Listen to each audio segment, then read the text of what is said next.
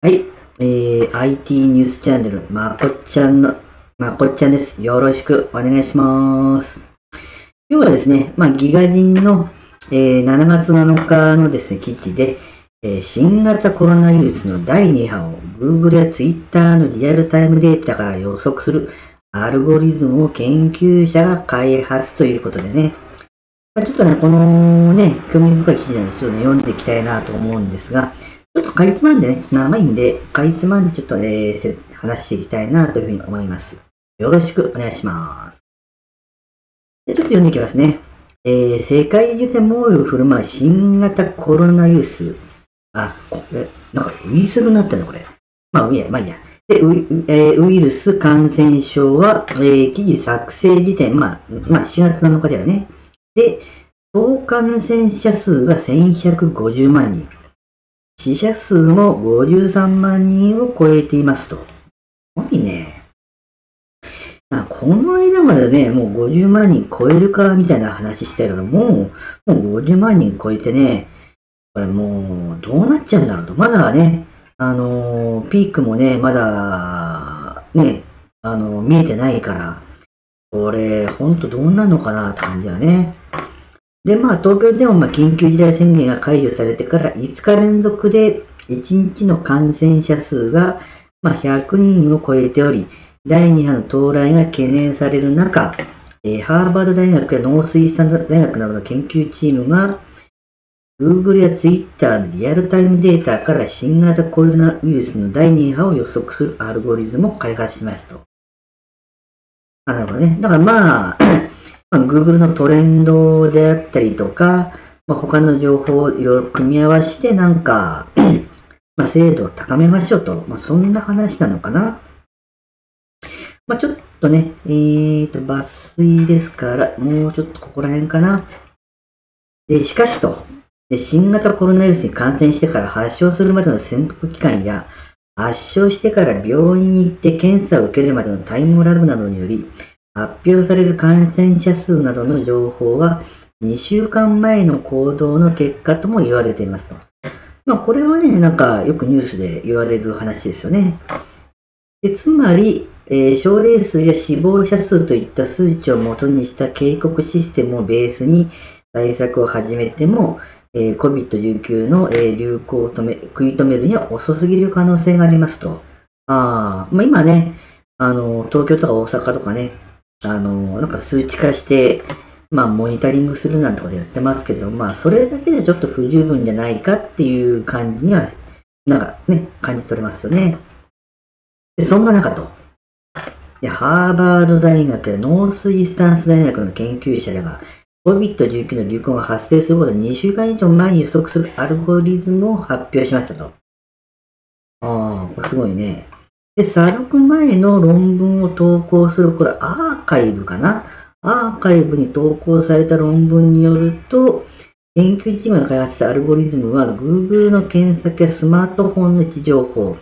SNS の投稿で複数のリアルタイムデータを分析して COVID-19 の流行を予測するものですと。で、まあ、2008年には Google のエンジニアが、まあ、疲労感、関節の痛みといった単語の検索トレンドを追跡することで、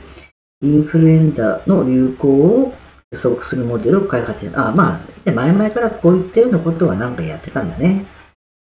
で、このモデル自体はそれほど精度が高くありませんでしたが、まあ、多くの研究者がリアルタイムデータに着目した感染症の流行予測を行ってきたとのことと。あ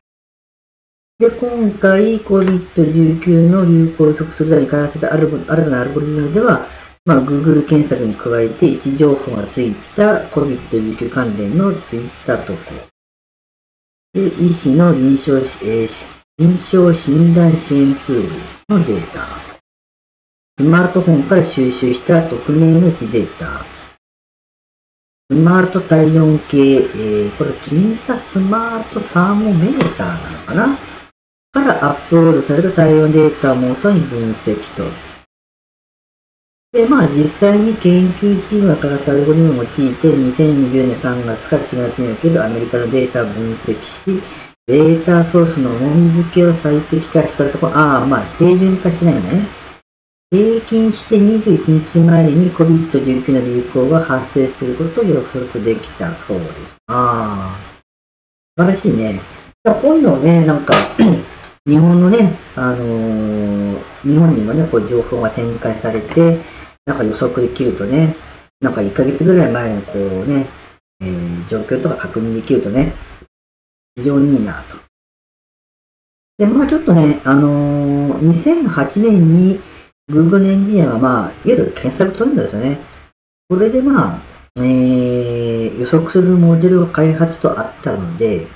まあ、ちょっと今回コロナ症状という、まあ、キーワードを使ってですね、えー、Google トレンド、ね、これちょっと使ってね、えー まあちょっと確認というか、どまあ、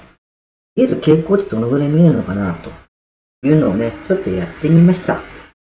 今回、まあ、コロナ症状というキーワードで、まあ、当然日本ですね。で、2020年、まあ、2月1日から、えー、7月7日と。で、まあ、人気の動向ってこれあるんですけども、まあ、これはなんか、まあ、頂点をまあ100としてですね、まあ、どのぐらいこの検索キーワードのこの人気があったかっていうのを、まあ、相対的に数値化したものを、まあ、0から100までの数値化をして、まあ、そこでグラフ化したものということだそうです。まあ、これで見るとね、3月30日がまあ一応ピークになっていると。まあ、そこがピークになってるってことは実際の感染の状況がこれ2週間後にまあピークになってるという仮説をちょっと元にして、まあ、ちょっと厚生労働省の感染症についてということで、まあ、データを見ていくと、これかな？あ、PCR 検査陽性者数ということで見ていくと、頂点がどうもこのあたり、4月10日の、えー、708人、これがピークになってるんですね。で、さっき、まあ、この3月3日が、えー、トレンドで、まあ、ピークになってると。これね、うん。で、見ると、まあ、約2週間後にね、4月と、この2週間後の4月10日ですね。ここで、まあ、あの、ピークがきあの来てるというのが確認できると思うんですね。まあ、だから Google トレンドと、えー、実際の感染者数のこうトレンドっていうのは見えてくるとということですよね。ただまあ、それ以降のね、第2波、第3波ってなると、まあ、なかなかちょっと予測しづらいのかなと思うんですけど、ちょっと、今回はコロナ症状で、えー、東京ですね。東京です。東京で2月1日から7月7日までのトレンドで見ていくと、まあ3月30日がやっぱピークなんですけど、まあそれ以降ですね。で、見ていくと、まあ、どちらかっていうと、まあ、こう、低空飛行というか横ばいっていう感じですよね、トレンドとしては。で、まあ、指数値なんで、まあ、過去90日に変えて東京都ですね。で、変えてみても、まあ、なんでしょう、まあ、まあ、横ばい、まあ、ちょっと上昇傾向にあるかなぐらいのレベルですよね。で、じゃあ実際どうかって、まあ、都内のこの最新感染動向ということで、新規患者に関する統計報告件数の推移ということで、まあ、グラフがあるんですが、まあ、今のところ、まあ、7、4月4日が、まあ、131人。これが一番高いんですけど、まあ、遡ってみると、6月15日に、まあ、ある程度このね、トレンドの上昇が見れるのかなと思うんですけど、まあ、そんな感じはないですよね。まあ、最近ちょっとね、まだ100人超えたってことちょっと上がってますけど、まあ、2週間前のこのね、傾向ではちょっと見えないのかなと。で、まあそこで、まあちょっと仮説というか考えてみると、まあ、あれなんでしょうかね。やっぱり、最近は20代、30代の、えー、感染者、感染者の方が多いというふうに、まあ言われているので、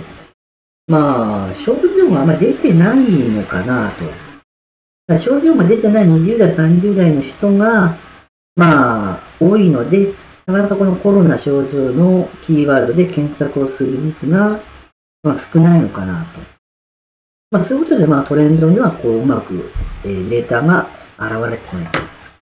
まあ、いうことなのかなというふうに思いました。まあ、ちょっとね、これは、まあ、Google トレンドから見た時の例として、まあ、ちょっと今話しましたけども、まあ、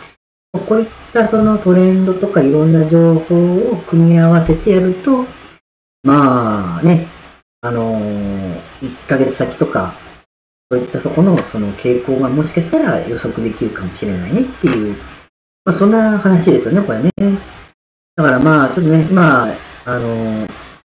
まあ自治体の方でもね、あのー、データを元にしてこう予測してますけども、